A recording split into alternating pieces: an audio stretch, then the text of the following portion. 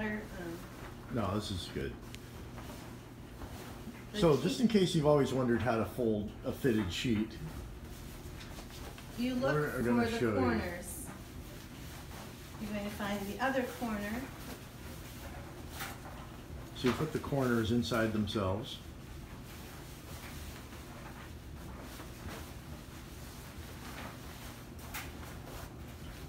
Don't know how much of this you can actually see dragging it on the floor.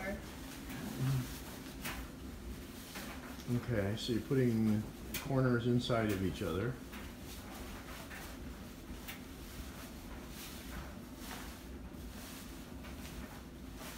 Takes So- a minute, but So those are like the two ends? yeah, I've got mine twisted at the moment, so let's see. Other direction.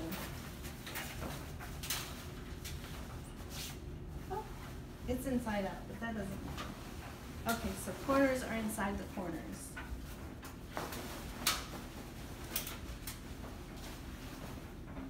This is not the best.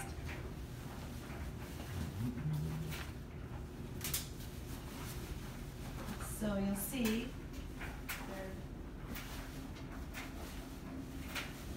Okay. actually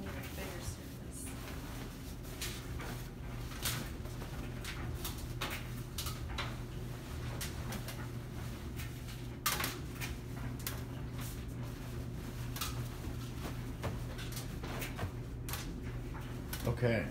So the, so the corners now are all inside of each other and there's basically just two ending up and then the, the ends hang down.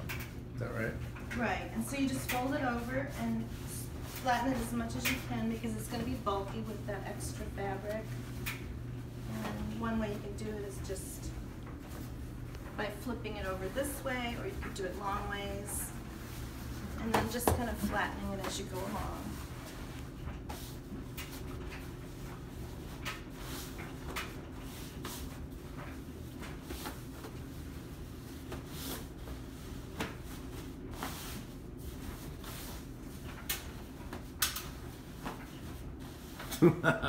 Voila! That's awesome. Thanks, DR. You're welcome.